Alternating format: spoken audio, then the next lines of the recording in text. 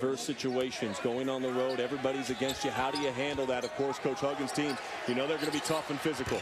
Pangos with a three.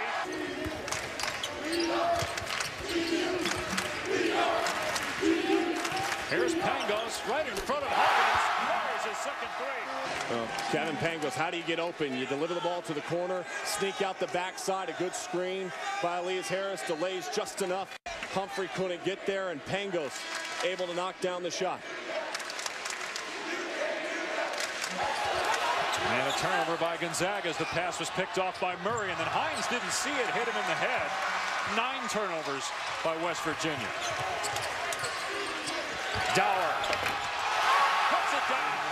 Great way to start the marathon, too, at two of the loudest venues in college basketball. Here in Gonzaga and then at the pit up next.